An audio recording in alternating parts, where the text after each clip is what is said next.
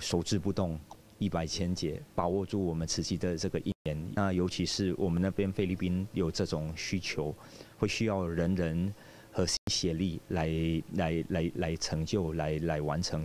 尤尤其是救灾救难的状况，当然更有指指明说救灾的人。